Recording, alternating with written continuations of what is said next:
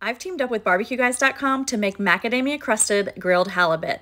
Start by taking a cedar plank and soaking it in water, then season your fillets with olive oil, salt, and pepper.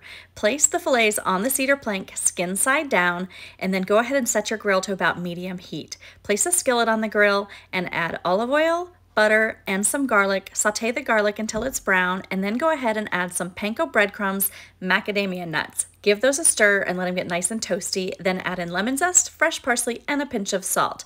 Now just mix that up and take your spoon and place it right on top of those seasoned halibut fillets. I like to use the back of the spoon to really press it on nice and firm. Then slide it on your grill and cook it for about 10 minutes. You want the internal temp to reach 145 degrees for that perfect fish. Take it off the grill, let the cedar plank cool just a little bit, and then go ahead and serve it. These are so easy to make and it's so flaky. Get the whole recipe at barbecueguys.com.